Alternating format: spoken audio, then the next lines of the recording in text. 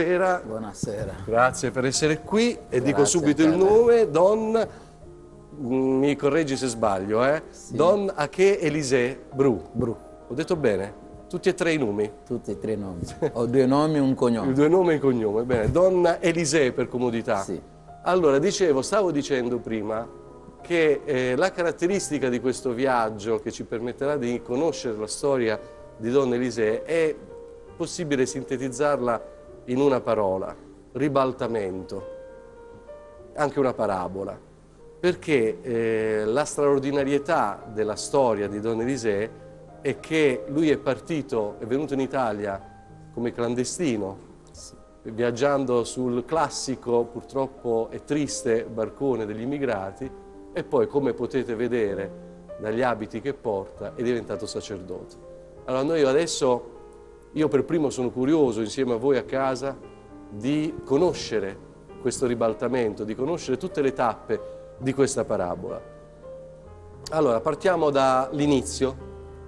Eh, L'arrivo è stato con un barcone a Trapani nell'agosto del 2000, fuggendo dalla Costa d'Avorio, il tuo paese d'origine, per una guerra civile che era scoppiata nel 1999. No. Cosa stava accadendo in quell'anno nella Costa d'Avorio? Che pericoli stavate correndo che ti hanno spinto a questa avventura che poteva essere anche una disavventura? Una- un colpo di Stato contro il governo che era lì. Questo colpo di Stato ha provocato tanti morti. Eh, Da lì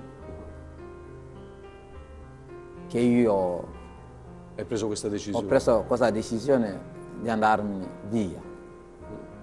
E quanti anni avevi? Io avevo 26 anni. E la famiglia? La famiglia, che già era, era già, papà e mamma erano già in cielo. Avevo perso questi due miei cari genitori. Mi rimanevano soltanto fratelli, due fratelli e una sorella, Che sono restati lì? che sono rimasti lì. Io ho dovuto scappare. Ma cosa ti ha dato la forza eh, di, di- comunque di andare verso l'ignoto? Perché eh, si sa benissimo che un viaggio in quelle condizioni non ha certezze. È lì il grande mistero. Orfano di papà e mamma, figlio maggiore di una famiglia, e uno che con questa, in una situazione così drammatica decide di partire. Per me la prima di, prima di tutto è stato anche la paura, perché in quanto vivevo in Abidjan, la capitale economica e anche era politica della Costa d'Avorio da allora, lì è stato, i giovani erano la presa dei militari che avevano preso il potere. Eravate delle- I giovani erano delle prede, no? Delle prede. Eh, venivano costretti poi ad armarsi, immagino io, no? In questi casi In succede questi casi. questo. Ed era una situazione che tu volevi assolutamente evitare. Evitare. E quindi questo viaggio dettato dalla paura e dalla disperazione Sì. verso una speranza. Eh, sei arrivato a Trapani, quindi del viaggio ricordi Sono qualcosa di questo a viaggio nel Lampedusa. A Lampedusa. eh. Di questo viaggio nel barcone cosa ricordi? È un viaggio, come lo avevo dato il nome io stesso, il viaggio della speranza.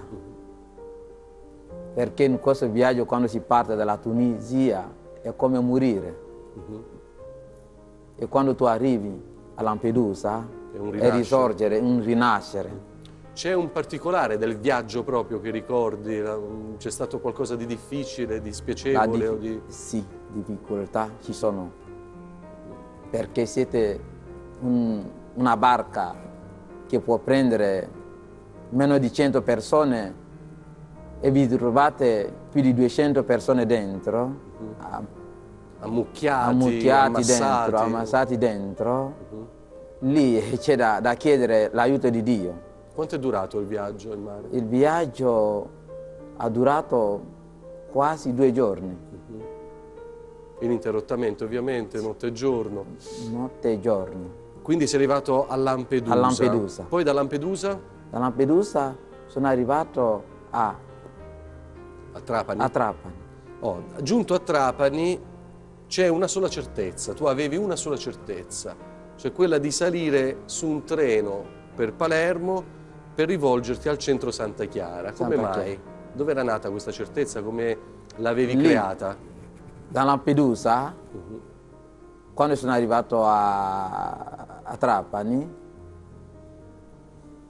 lì ho incontrato alcune persone ma già anche a Lampedusa il, il sacerdote da allora che era lì, io ho vissuto quasi due, una settimana lì, diceva, quando tu arriverai a Palermo, ho sentito parlare che a Santa Chiara c'è un centro per immigrati. Uh -huh. È l'idea, questa idea, questa informazione di questo sacerdote. Quindi tu praticamente sei andato, avevi questo unico obiettivo che ti era rimasto di spostarti da Trapani a Palermo mm. Per raggiungere questo centro Santa Chiara che ti aveva, questo sacerdote ti aveva detto Uh, accoglieva, gli, immigrati. immigrati. Ma non c'era nulla ancora in te nulla. di quello che sarebbe stato il percorso uh, e poi appunto vediamo questo percorso dove ti ha portato. Quindi è stato veramente apparentemente tutto molto casuale. Tutto era casuale, uh, perché nel treno mm. che mi portava è lì che incontra Sor, una sora del Belamore, Sor Franca, ecco. che ora è in Germania. E qui in questa apparente casualità si comincia a profilare agli occhi umani il disegno divino che c'era su di te. Sì. Perché in questa apparente casualità si materializza una figura umana che ha un nome ben preciso che tu naturalmente hai scolpito nel tuo cuore adesso. L'hai detto tu adesso, l'hai detto tu prima, Suor Franca. Suor Franca. Per me era la Madonna. Perché che ha fatto Suor Franca? Suor Ti ha visto Franca. sul treno? Mi ha visto sul treno, con, il rosario, sei... con il rosario, in mano, fa... meditando il rosario, si avvicina a me e mi chiede in francese quale lingua parli? Il francese. E mi dice, anche io parlo il francese, allora possiamo fare il rosario insieme? Io dico sì. Tu eri cattolico quindi? Ero già. cattolico. Venivi ero da una famiglia molto cattolica? Una quindi. famiglia molto cattolica. Ho ricevuto soprattutto, io ho ricevuto il battesimo a 15 anni, uh -huh. cioè con la consapevolezza di tutto ciò, vivevo la mia fede, la semplicità ordinaria di ogni giorno, come mi hanno imparato i miei genitori il rosario. Ma prima giorno. di arrivare, allora siccome abbiamo detto che tu il viaggio l'hai intrapreso a 26 anni, no?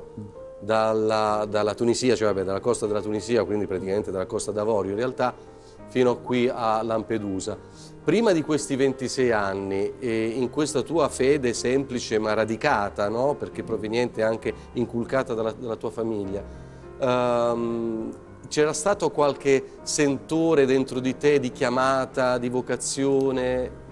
Bella la domanda. La mia vocazione spesso mi fanno sempre la domanda, come è nata la tua vocazione? La mia vocazione è nata proprio nel mio paese, all'età di 15 anni, giorno del mio battesimo. Ho fatto il catecumenato che ha durato tre anni.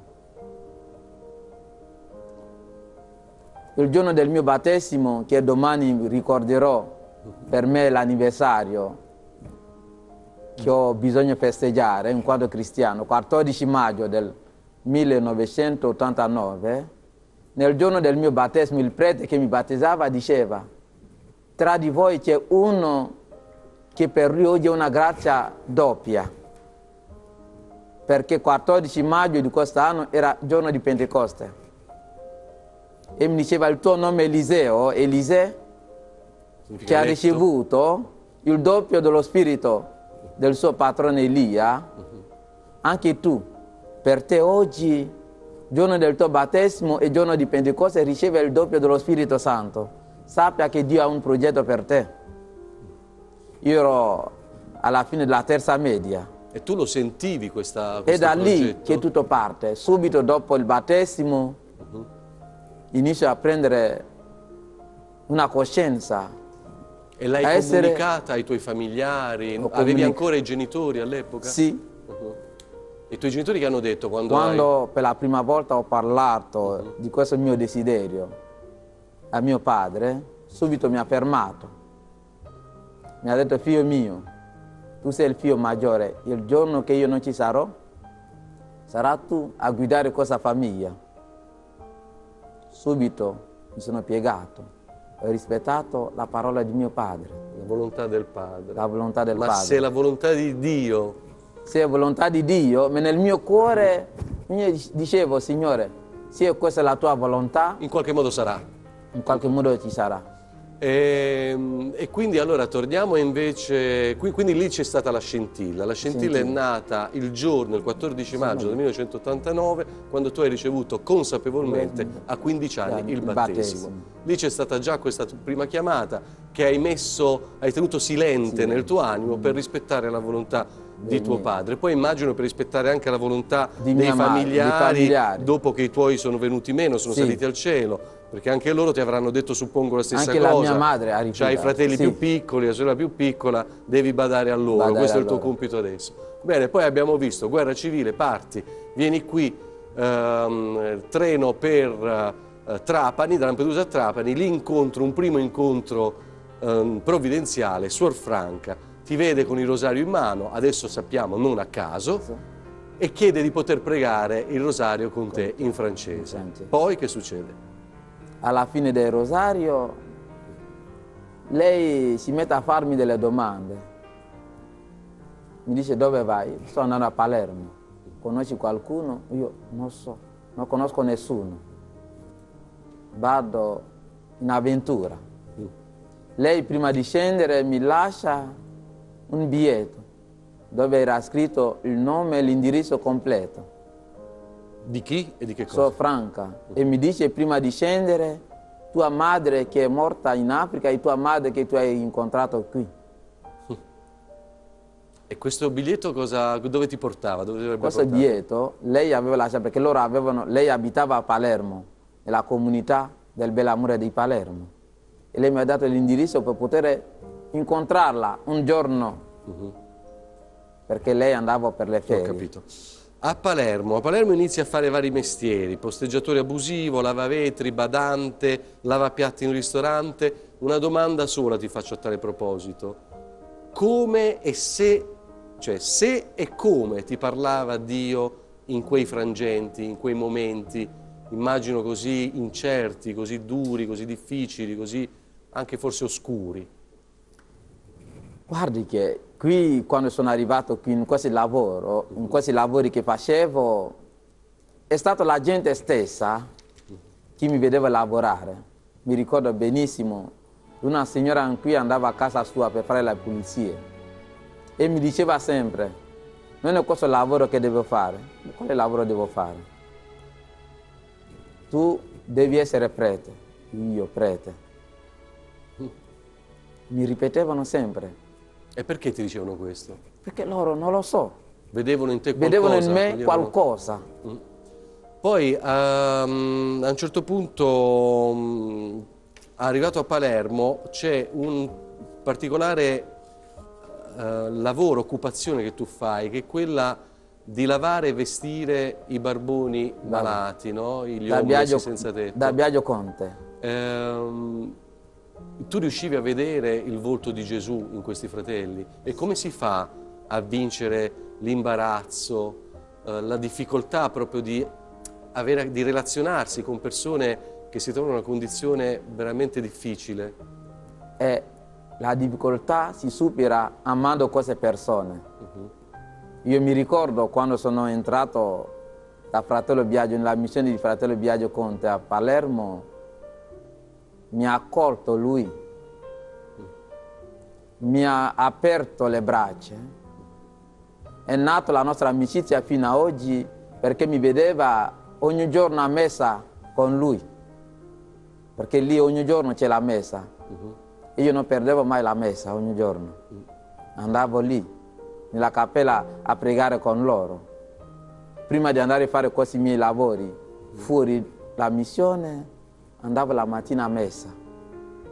e dopo la messa, dopo la colazione, uscivo per andare a fare questo lavoro di lave vetri. Quindi traevi nutrimento proprio dalla, dalla celebrazione eucaristica quotidiana, no? Il 29 giugno del 2009, altra data fondamentale, fondamentale. indimenticabile per te, sì. per Don Elisè, e cioè diventi sacerdote, ordinato dall'arcivescovo, dal Monsignor Salvatore di, di Cristina. Cristina. Uh, quale immagine o parola conservi nel tuo cuore di quella giornata? In quel giorno, quella data per me è una data fondamentale nella mia vita. È avvenuto il secondo cambiamento nella mia vita. Dopo il battesimo, questa data segna anche uno svolgimento totale, cambia tutta la mia vita. Vero che umanamente rimango sempre quello che sono, ma c'è qualcosa di più. E questo l'ho vissuto attraverso anche la gente che mi vedeva, che mi aveva conosciuto quando sono arrivato a Palermo. Mi ricordo il giorno della mia ordinazione sacerdotale, la gente, una signora che mi dice, non era lui che faceva il posteggiatore abusivo davanti a casa mia. Allora, Signore, sono io, signora, sono io, e mi ha abbracciato.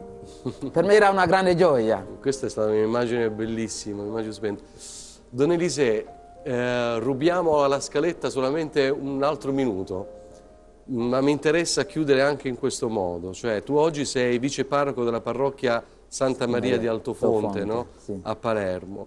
E, ehm, cosa chiedi al Signore oggi per te? Io chiedo al Signore soltanto due cose, una grande umiltà e una grande carità.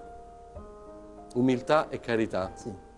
Mi sembra che con queste parole che tra l'altro ti mettono in, e ci mettono in profonda sintonia con quelli che sono gli appelli, gli inviti sempre più accurati di Papa Francesco no? all'umiltà nella carità, carità, perché anche l'umiltà senza la, la carità, carità, non sarebbe nulla, no? nulla. Come dice, come ha scritto mirabilmente San Paolo no, nella prima lettera ai Corinzi, no? il famoso inno alla carità. carità. Con queste parole, Don Elisè, noi ti ringraziamo per aver vissuto alcuni momenti di questa tua parabola con noi e, e auguriamo, ti auguriamo che il Signore ascolti questa tua preghiera, umiltà nella carità.